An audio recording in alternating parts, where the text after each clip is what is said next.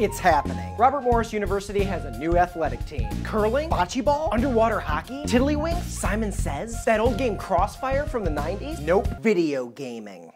They're gunning to build a League of Legends team for competitive play. Recruits should probably be strong in hand-eye coordination, ability to stay awake for 48 hours straight, and the ability to use the Domino's app to order a pizza without ever looking down. Recruits will more than likely struggle in bathing regularly, being exposed to sunlight, making eye contact with another person, and probably talking to women.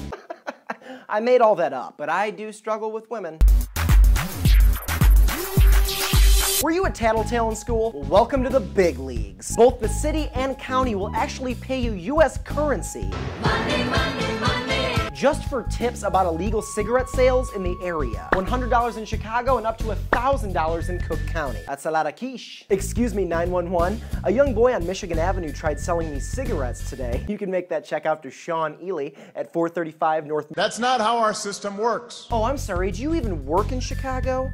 No. That's what I thought. Next up, according to financial website NerdWallet, Chicago is one of the worst cities in the country to drive a car. And that's a good thing. We top lists a lot, and they're never good. Just behind NYC, Detroit, and San Francisco. The factors? Owning and maintaining a vehicle, weather trends, and common commuter delays. The most important thing we have to do now is come bring American troops home and battle for America's future. Seems like a separate issue. That's the most important point to be made. All right, you're the mayor, I trust you. It's going to be handled, and people that did this will be brought to justice. All right. And finally, the U.S. men's national team plays Portugal this Sunday, June 22nd at 5 p.m. Central Time. So if you'd like to potentially experience something like this, USA! USA! Head to Lower Hutchinson Field in Grant Park, because they're having another viewing party. Hey, and maybe you'll even see Landon Donovan there. Uh, I don't agree with that assessment. All right, but you're not going to Brazil, that's for sure.